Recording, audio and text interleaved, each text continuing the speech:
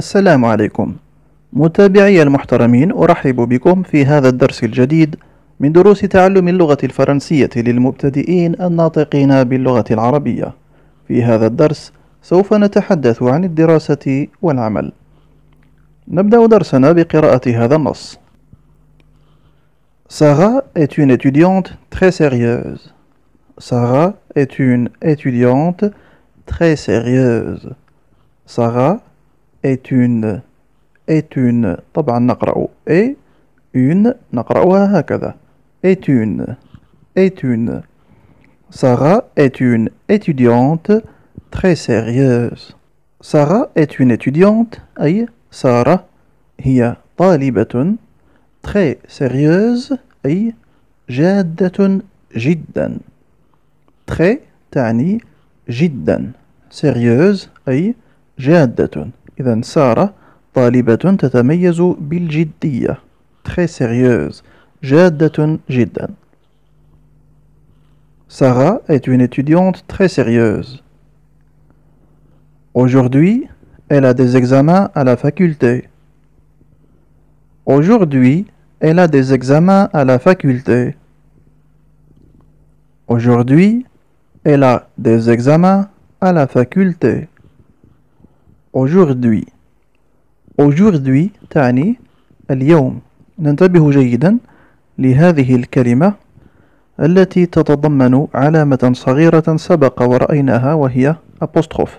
بعدها مباشرة هناك حرف أش الذي اتفقنا على أنه لا ينطق. إذا نقرأ الكلمة وكأن بعد حرف د هناك مباشرة U إي التي تنطق وي إذا نقرأ الكلمة هكذا aujourd'hui. كلمة aujourd'hui تعني اليوم أي هذا اليوم. Aujourd'hui elle a des examens. Elle هذا ضمير un pronom. ضمير سبق أن رأيناه عدة مرات والذي يعني هي. طبعا الضمير يعوض الاسم. Le pronom remplace le nom. Le pronom remplace le nom. أي الضمير يعوض الاسم. الضمير هنا إل يعوض الاسم سارة.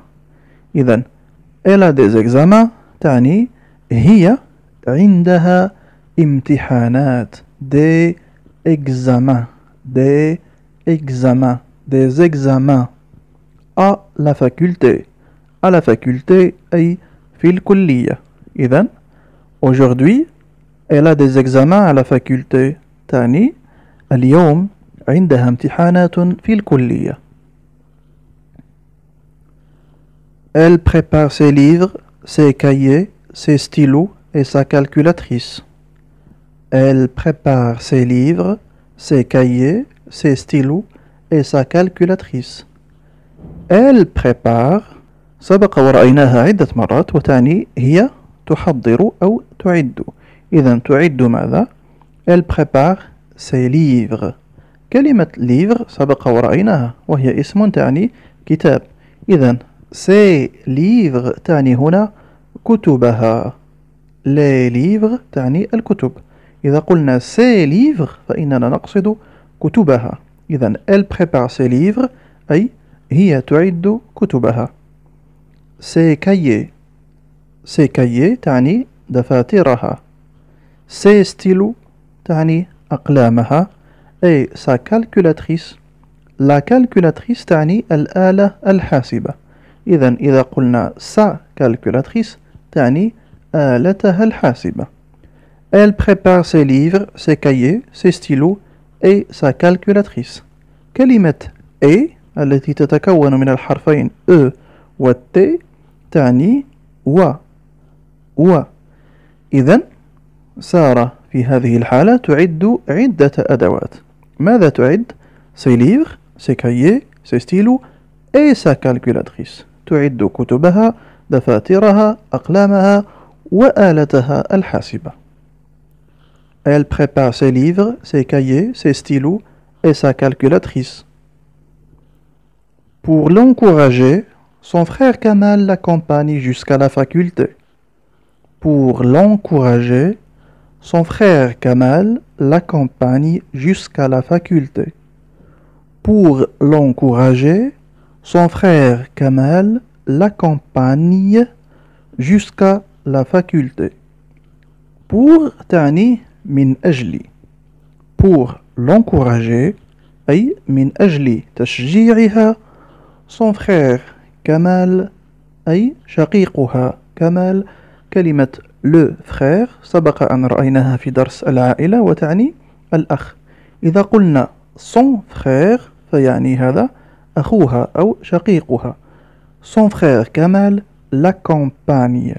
ننتبه جيدا لطريقة نطق هذه الكلمة l'accompagne l'accompagne.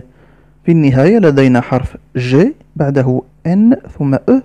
هذا الصوت ينطق هكذا نية نية وكأن لدينا في اللغة العربية حرف النون ساكن وبعده ياء ساكنة. نية نية La campagne. Son frère Kamal l'accompagne jusqu'à la faculté. Jusqu'à. Jusqu'à أي إلى غاية يرافقها إلى غاية الكلية أي حتى الكلية jusqu'à la faculté.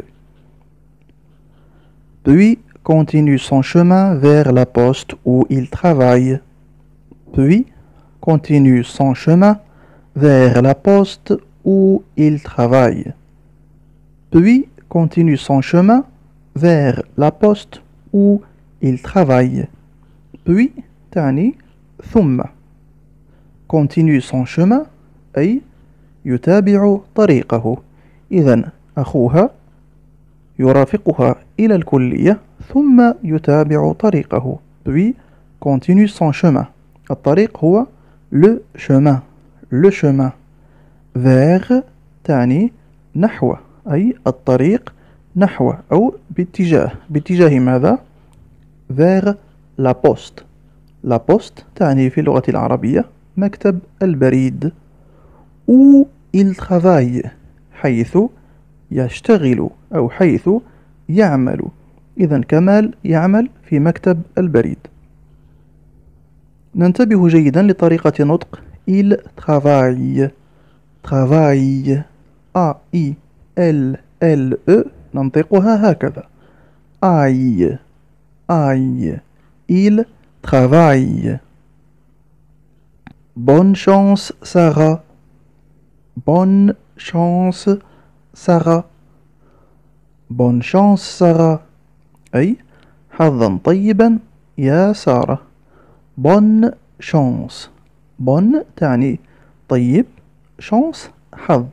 أي نتمنى لها حظا سعيدا. Bonne chance, Sarah. الآن نمر إلى بعض الكلمات التي تدل على الدراسة أو العمل.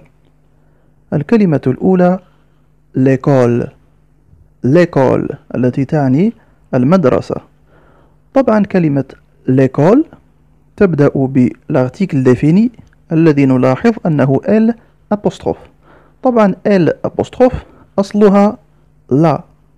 la. إذا كانت الكلمة في الأصل la école la école ولكن طبعا نلاحظ أن هناك حرفين من حروف voyelles A ثم E avec accent. إذا يجب أن نحذف الحرف الأول وهو A. ونضع بدله علامة apostrophe. وتصبح الكلمة هكذا. l'école l'école التي تعني المدرسة.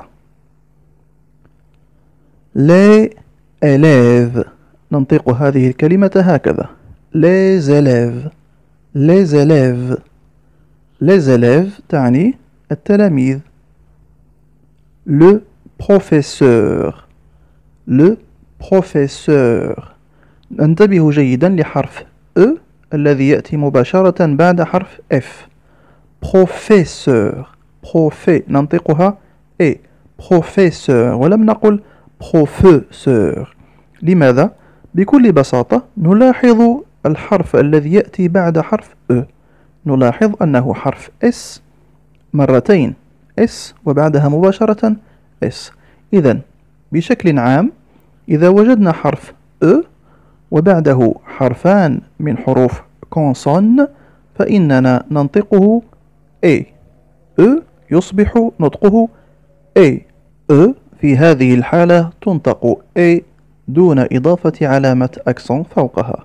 إذا le professeur بالعربية تعني الأستاذ. les leçons les leçons les leçons تعني الدروس. le livre le livre هذه الكلمة سبق أن رأيناها عدة مرات وتعني الكتاب. le cahier le cahier ننتبه جيدا لهذه الكلمة لأن فيها حرف H الذي قلنا أنه لا ينطق. وبعده مباشرة I E R التي ننطقها ي إذا الكلمة تقرأ هكذا. le cahier le cahier أي الدفتر. le stylo le stylo تعني القلم. le stylo طبعا حرف Y ننطقه تماما مثل نطق حرف I le stylo la classe la classe تعني القسم. la cour la cour أي الساحة. la salle la salle القاعة. la séance la séance ننتبه جيدا لطريقة نطق هذه الكلمة. لدينا S E accent في البداية التي ننطقها سي ثم بعدها AN التي ننطقها اون c'est une voyelle nasale. إذا نقرأ الكلمة هكذا. Séance. Séance. La séance أي الحصة. L'étude. L'étude. l'étude في الأصل هي la étude la étude l'article défini la ولكن طبعا حذفنا حرف A ووضعنا بدله apostrophe نظرا لالتقاء حرفين من حروف voyelles l'étude تعني الدراسة un étudiant أن إتوديون أن إتوديون تعني طالب Une étudiante. Une étudiante.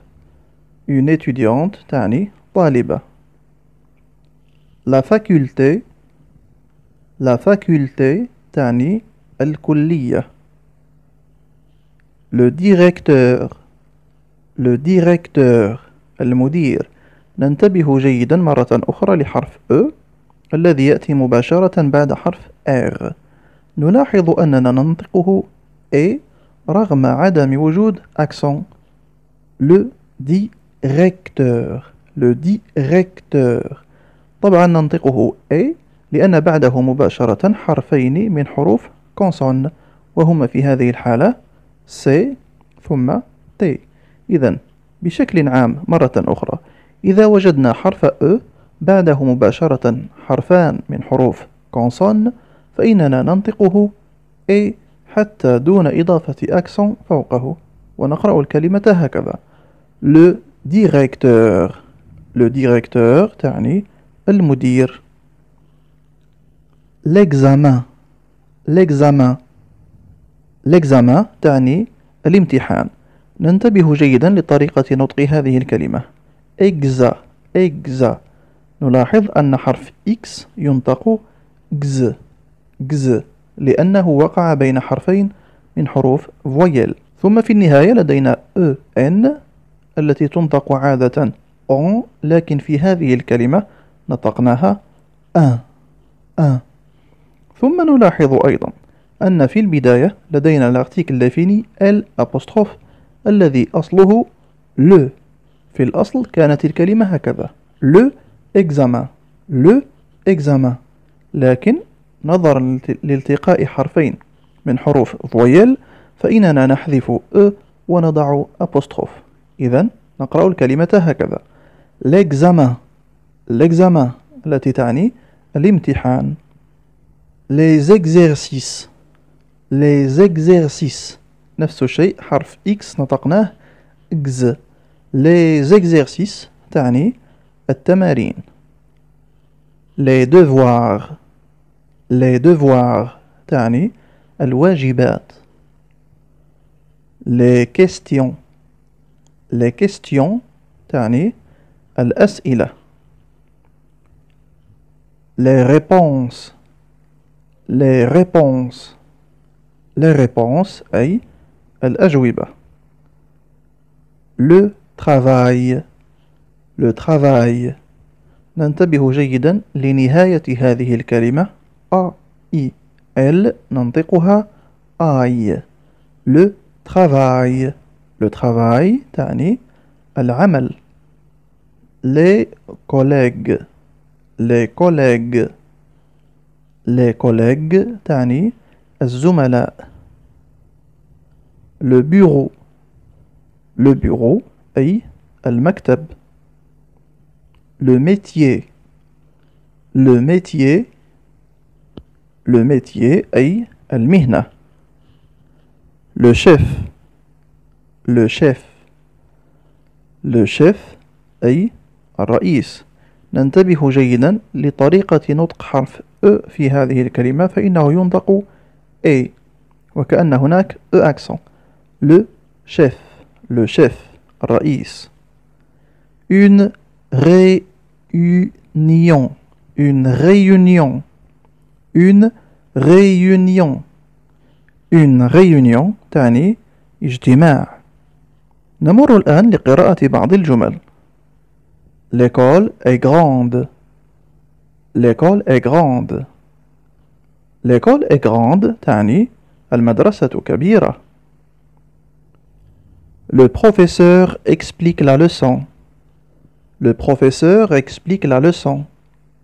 Le professeur explique la leçon. الأستاذ يشرح الدرس. Les élèves sont dans la salle. Les élèves sont dans la salle. Les élèves sont dans la salle. التلاميذ في القاعة. La leçon est facile. La leçon est facile. La leçon est facile. الدرس سهل. La cour de l'école est propre. La cour de l'école est propre. La cour de l'école est propre أي ساحة المدرسة نظيفة. Sarah va à la faculté. Sarah va à la faculté. Sarah va à la faculté أي سارة تذهب إلى الكلية. J'ai un examen à la faculté. J'ai un examen à la faculté. J'ai un examen à la faculté. عندي امتحان في الكلية. J'ai une réunion au travail aujourd'hui. J'ai une réunion au travail aujourd'hui. J'ai une réunion au travail aujourd'hui. عندي اجتماع في العمل اليوم. Monsieur Talal va à l'hôpital. Il est médecin. Monsieur Talal va à l'hôpital. Il est médecin. Monsieur Talal va à l'hôpital. Il est médecin. السيد طلال يذهب إلى المستشفى. إنه طبيب.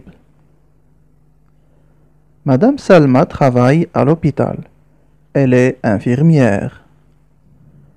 Madame Salma travaille à l'hôpital. Elle est infirmière. Madame Salma travaille à l'hôpital. Elle est infirmière. السيدة سلمى تعمل في المستشفى. إنها ممرضة. Je travaille le matin. Je travaille le matin. Je travaille le matin. أنا أعمل صباحا. Je vais au travail. Je vais au travail. Je vais au travail أي أنا أذهب إلى العمل. هكذا عزيزي المتابع نكون قد وصلنا إلى نهاية هذا الدرس. نتمنى أن تشاركوه مع أصدقائكم الراغبين في تعلم اللغة الفرنسية من البداية. ختاما وكالعادة نشكر لكم حسن المتابعة ونتمنى لكم رحلة موفقة.